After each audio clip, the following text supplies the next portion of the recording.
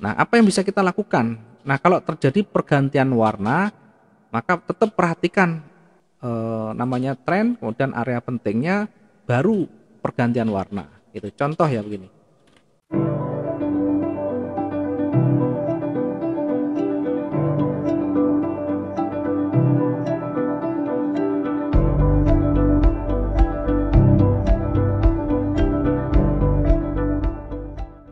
Saya coba untuk berikan contohnya. Misalkan yang terdekat saja, yang paling gampang dan terdekat. Ya, nggak usah jauh. Kalau nanti saya geser ke belakang, dikira wah kok gampang sekali kalau melihat yang sudah berlalu ya. Makanya ya biar tidak nanti terlalu bias dan bisa dipraktekkan dan bisa dibuktikan langsung yang terdekat dari running aja. Contoh misalkan perhatikan arah eh, kecenderungan, arahnya ke bawah. Oke, jelas arahnya ke bawah. Kemudian yang kedua area pentingnya di situ ada area namanya retracement. Ditolak. Ah, bukan area Eh. penolakan, ah, titik pentingnya atau area-area eh, apa namanya? supportnya. Nah, sebentar sih Bu. Mm-mm. Kalau saya lihat gini sih Bu ya, saya teringat kata-kata Pak Pak Pak Wi, tuh ini udah ditolak tiga kali Mhm. sama yang ini udah empat empat empat rambut ini. Iya, Ah, ini, ini dua, udah dihitung empat rambut udah pada tolakan ini. Aha. Artinya ditolak oleh buyer kan, Mm-mm, betul. buyer nggak mau dia turun lagi gitu kan, Mm. ya. Itu dari penolakan, dari rejeksi. Yang tadi saya Artinya ini, sampaikan ini, ini, ah, ini, ini namanya rejeksi atau rejeksi, Pak. Ini rejeksi itu penolakan begini bahasanya rejeksi, bahasanya. rejeksi menolak. ini ya? Iya, yang ini rejeksi. Kemudian ini rejeksi, penolakan. Yang ini semuanya di sini rejeksi lagi. Ya, di sini Oh, kalau yang kita lihat sekilas gini, sih Bu, apakah yang tanggal 7 hari kemarin itu kita lihat juga ya? Betul, Iya. Bu? Kalau tanggal 7 enggak ada, tanggal 8 eh, tanggal 6. Tanggal 6 misalkan Oh. enggak itu tanggal 5 terus ke belakang. Karena ini yang kemarin ada, berarti yang terdekat dulu dari running. Kalau misalkan ini yang sebelumnya ini enggak ada atau di tinggi-tinggi di atas semuanya ya kita cari yang geser ke belakang begini, Pak. Tapi yang utama prioritas yang terdekat dari running. Yang terdekat karena ada penolakan-penolakan, maka ini menjadi benturan ya, bagi benturan yang berpotensi memantul. Nah, yang tadi saya sampaikan adalah pergantian warna ketika berada di ujung merah dan berada di eh, area level psikologi, level level pentingnya, kemudian terjadi pergantian warna. Di sini maksud saya ini. Di ujungnya itu ada pergantian warna, bahkan di bawah ada penolakan. Maka ketika terjadi pergantian warna di area yang kuat ini, eh, di are- di area yang kuat begini, ini berpotensi dia akan naik lagi. Naiknya sampai di mana? Bukan berarti langsung naik tinggi. Diukur, diuji di area retracement Retracement. nanti kalau dia naik. Artinya kita bisa entry buy dengan ya targetnya kira-kira nanti di area retracementnya ini. Kira-kira di area retracement. Atau tidak sampai di sini pun tidak masalah. Yang penting profit kita kita amankan dulu, kita selamatkan dulu. Misalkan dapat 200 pip atau misalkan di ujung di sini misalkan.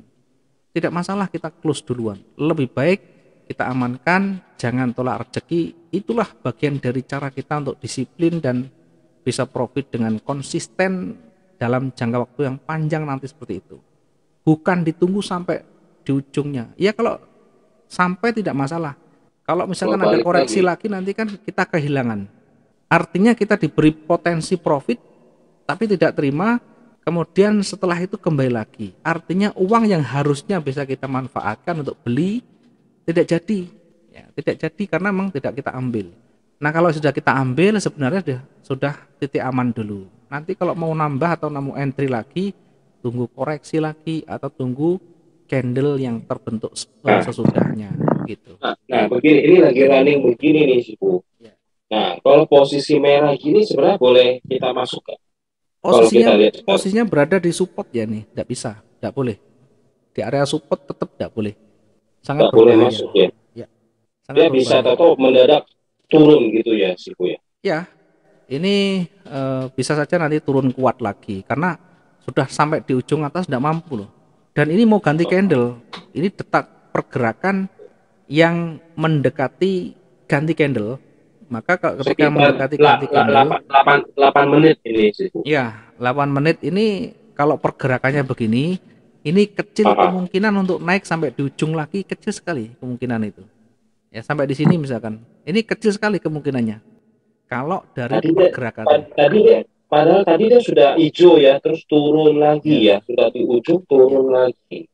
Nah sekarang hijau lagi nih Sifu. Akan agak agak ambigu, membingungkan agak di sini nih misalkan. ya kalau Lebih baik- seperti ini ya ditunggu saja sudah. Apalagi masuk ganti candle. Ini Sudah posisi begini sudah tanggung ya.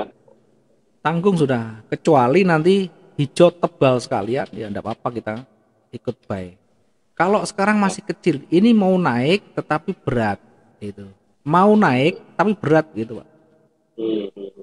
Nah kalau nanti misalkan naiknya ternyata terkunci lagi terkunci di situ ya tidak sampai retracement ternyata hanya terkunci di sini. Seterusnya nanti naik sampai di situ kembali lagi naik seterusnya kembali di situ. Maka tetap fokus kita adalah sell karena di situ sudah tidak mampu untuk berikutnya naik terus kemudian eh, yang kita kembalikan adalah secara umum kecenderungannya masih turun. Untuk bisa memastikan kuat turunnya maka harus breakout warna merah. Sebelum breakout kalau masih di sekitaran itu maka tetap kita perhatikan dulu. Kita tunggu sampai betul-betul kuat gitu. Misalnya setelah itu runningnya kuat merah. Nah kita mau mau entry sell tapi panjang maka sabar dulu tunggu biarkan dia koreksi. Bagaimana kalau tidak koreksi? Ya berarti kita tunggu dulu. Jangan kita masuk sell ketika posisinya tebal di, di bawah. Tetap bersabar memang ada kalanya kita menunggu ini lama betul-betul lama. Saya juga pengalaman panjang iya. begini.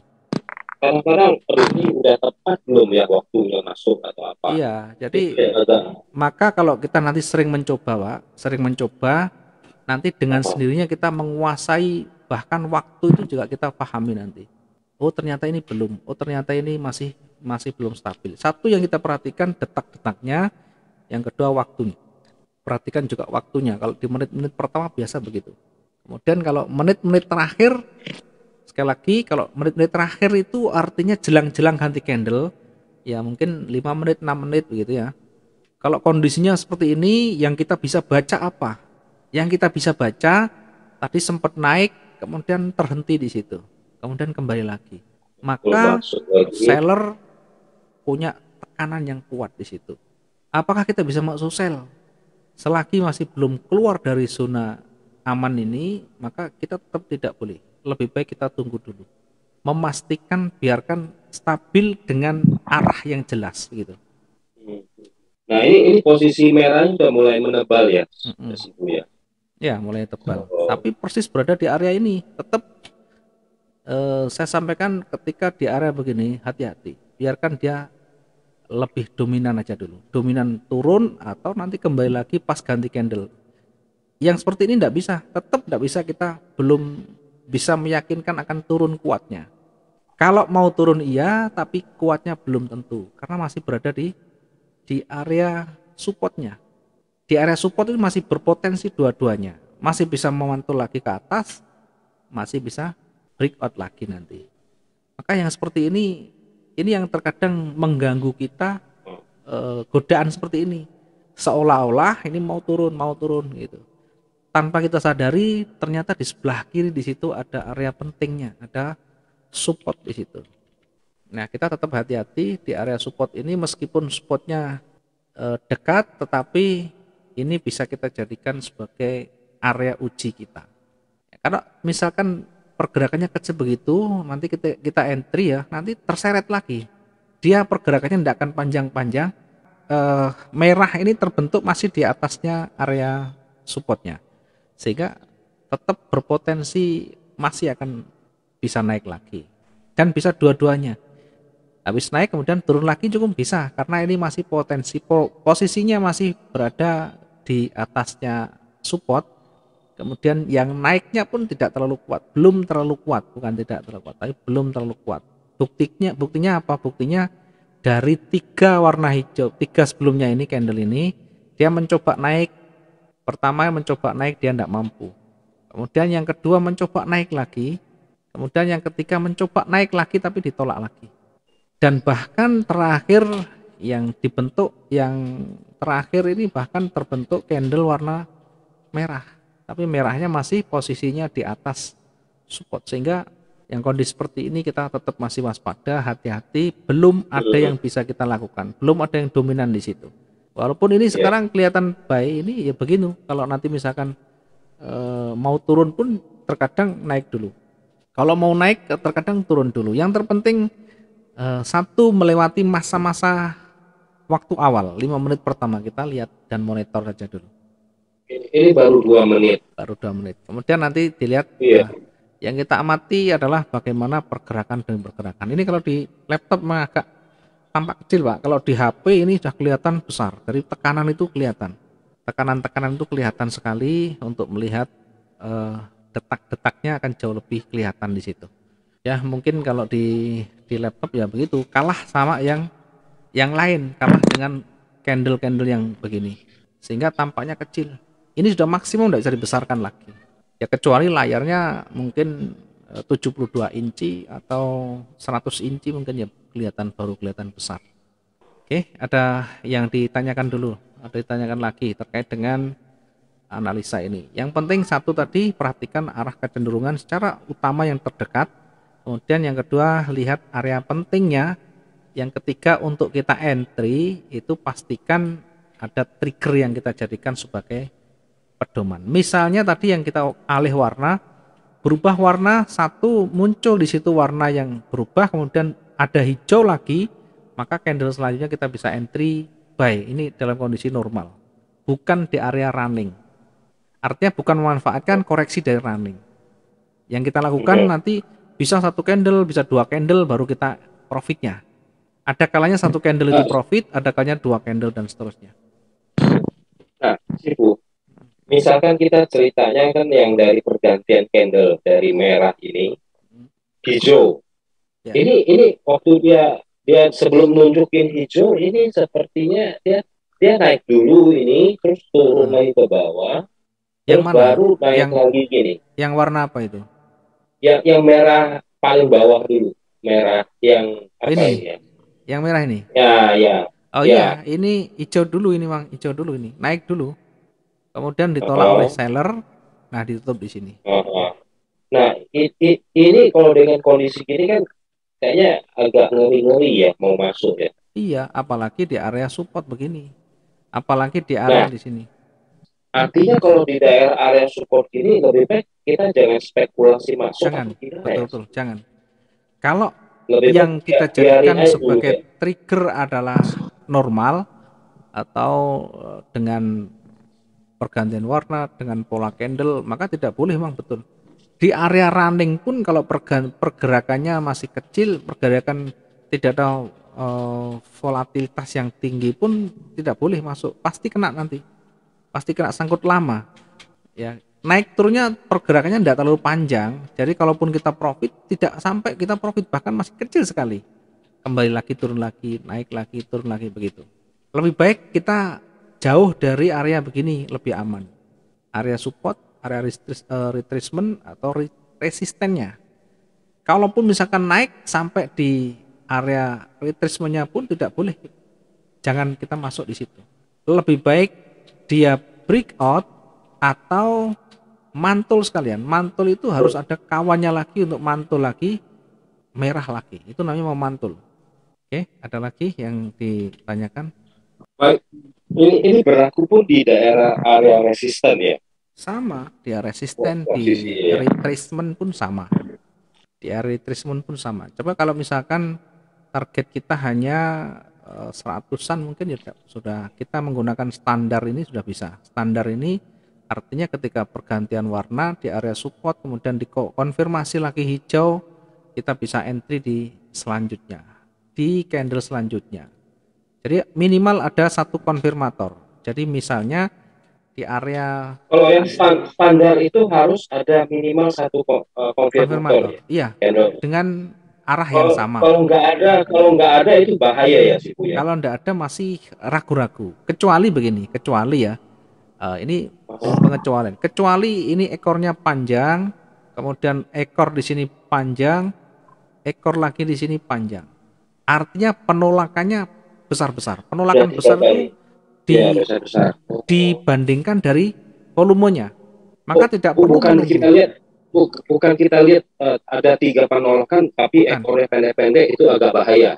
Iya, yang penting yang pendek panjang itu diukur dibandingkan dari volumenya volumenya kalau volume hmm. kecil itu uh, dua kalinya volume ini udah panjang berarti.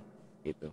Maka kalau sudah tiga kali penolakan tiga kali ekor yang berturut-turut bertolak begini tidak perlu menunggu konfirmator. Begitu ini awalnya turun kemudian naik lagi candle tebal atau selesai candle baru kita masuk buy boleh. Kalau misalkan cuma dua kali penolakan panjang. Dua kali kurang. penolakan sebenarnya kurang maksimum. Paling tidak tiga. Kecuali panjangnya panjang betul ya panjang-panjang. Uh, tidak peduli itu uh, candlenya kecil. Yang terpenting candlenya panjang. Panjang itu sekali lagi kalau dari dari volume jauh lebih panjang. Itu akan akan uh, membuat meyakinkan bahwa penolakan yang kuat. Uh, tapi misalkan satu panjang satu satu sedang? Uh, kalau bisa kayak berarti, ini. berarti tiga berarti tiga harus tiga. Tidak boleh berarti harus tiga kalau cuma dua panjangnya terlalu kecil ya jangan. Ya contoh misalkan saya kasih contoh yang panjang berjajar. Yang panjang berjajar. Ada juga ya panjang berjajar. Ada yang maksudnya berjajar itu tidak sama persis enggak. Artinya berturut-turut. Nah, termasuk bukan uh, termasuk begini. Dilihat ini. Ini penolakan. Satu. Ini ya. penolakan. Yang saya maksud panjang itu tentu dari dibandingkan dengan volumenya. Kemudian dibandingkan dengan bodinya ya. Iya, dengan bodinya. Kemudian di sini juga ada penolakan. Nah, ini kalau sudah berjajar begini maksimumnya kan ternyata di sini. Maksimum itu di sini. Ini maksimum di, di terakhir ini maksimumnya. Maka ketika dia awalnya turun dulu, ini turun. Kemudian terbentuk pergantian warna. Ini pergantian warna yang bukan berdiri sendiri tapi didukung oleh berbagai penolakan, oleh banyak penolakan lah istilahnya. Didukung oleh banyak penolakan begini, maka tidak perlu konfirmator, kita bisa entry langsung di situ. Di candle sesudahnya. Oh, di candle sesudahnya ya? Iya, di candle sesudahnya. Bukan yang Kalau konfirmator kan kalau kita konfirmator kan harus nah, tunggu tiga candle artinya kan harus, kan tiga jam berarti harus tunggu di situ baru di sini kalau misalkan nunggu konfirmasi iya tiga jam itu iya eh dua jam lah ya dua jam lebih Ya, dua posisi dua jam lebih Berarti tiga jamnya baru kita entry. Ya, ya, ya.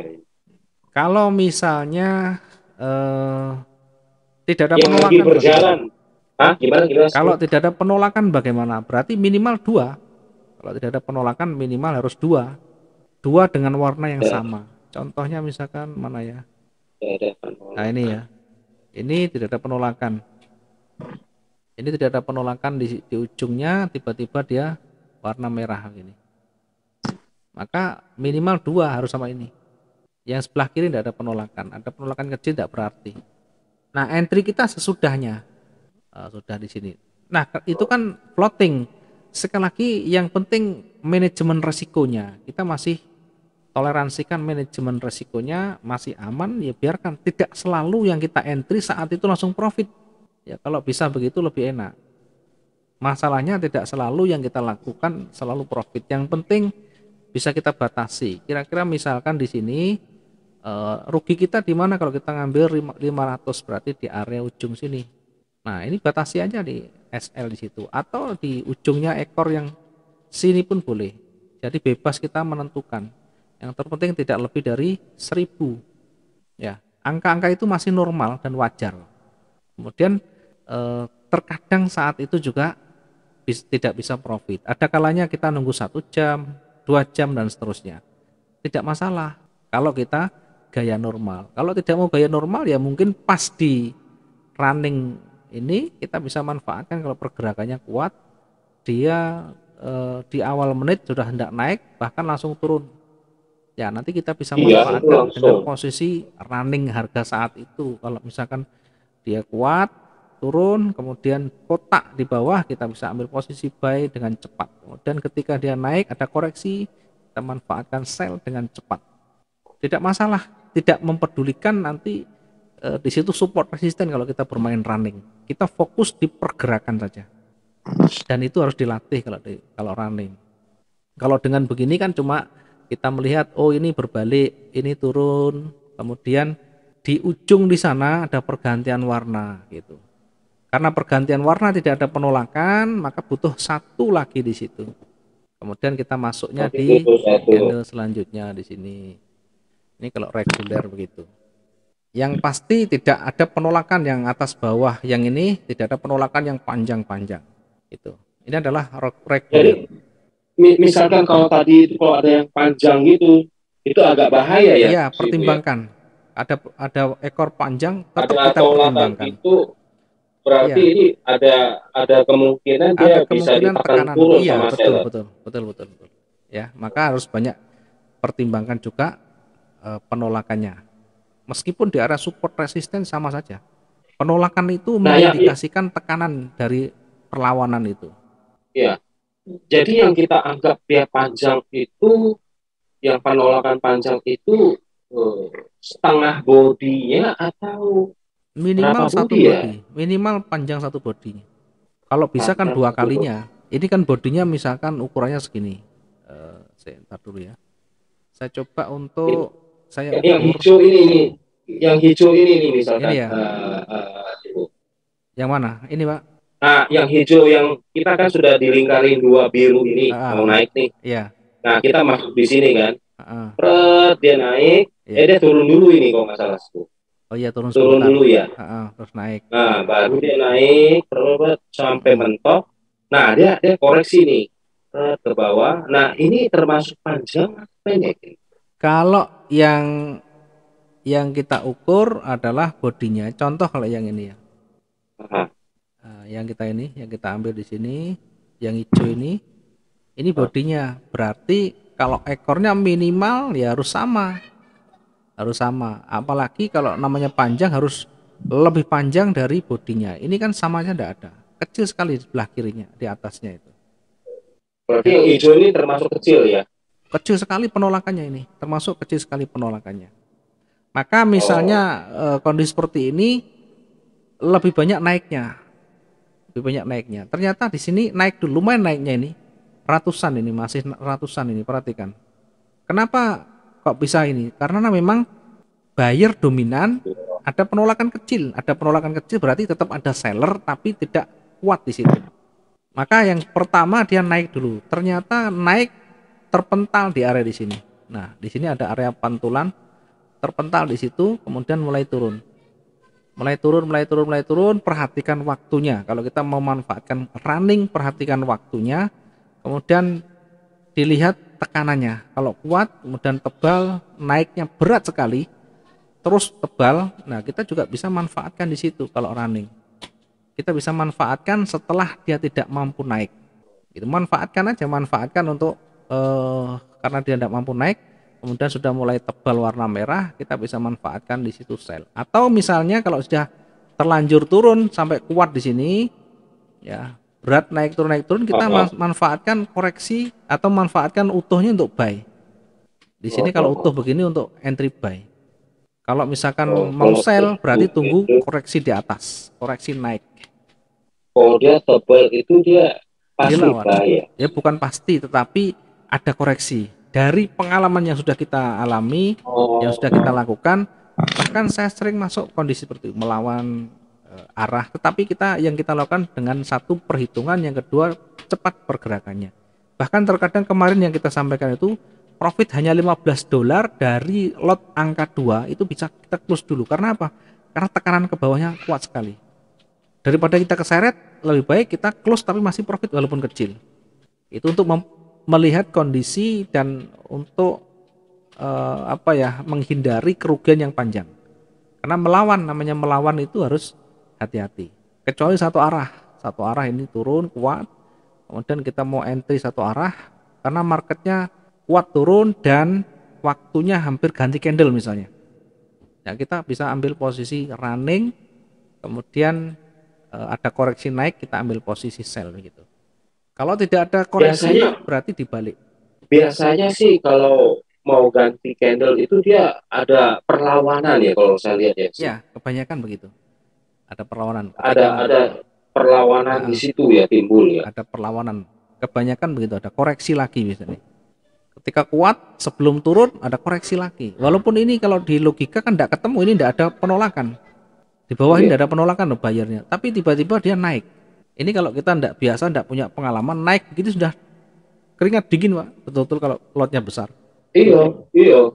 Pasti ya, karena itu satu itu harus yang, ya, itu yang mempengaruhi mental ya, itu psikologinya itu. harus harus disiapkan pak maka kalau semakin banyak kita latihan makin banyak menghadapi berbagai macam model pasar termasuk menghadapi pergerakan arah yang selalu berlawanan dan di situ kita bisa recovery di situ kita bisa recovery maka nanti suatu saat kita menjadi kebal, menjadi terbiasa gitu Pak. Jadi tidak kaget ketika marketnya berbalik gitu. Tapi kalau tidak bisa mengatasi, tidak bisa punya simulasi, yo, yang difikirkan bagaimana menganalisa dengan tepat dan akurat begitu yang dari kepalanya pasti sudah. Iya. Maka tidak akan ketemu sampai kapan pun tidak akan ketemu yang begitu. Karena tidak ada yang akurat, tidak ada yang valid. Semuanya hanya probabilitas. Kemungkinan semuanya terjadi bisa. Yang paling penting bagaimana kita manage dengan baik kerugian itu kita bisa manage lot yang kita gunakan termasuk pengalaman yang kita lakukan harus diperbanyak sebanyak-banyaknya. Itu yang nanti membuat kita menjadi lebih santai di dalam trading kita. Perlu waktu dan perlu proses yang cukup panjang. Tidak bisa sehari dua hari seminggu dua minggu karena proses pengalaman itu tidak bisa diwariskan dan tidak bisa diajarkan gitu. Kalau pembelajaran kalau teori banyak pak.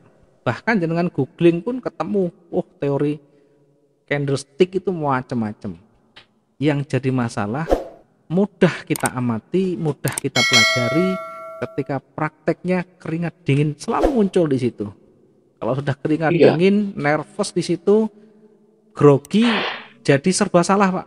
Ini mau tak apakan ini?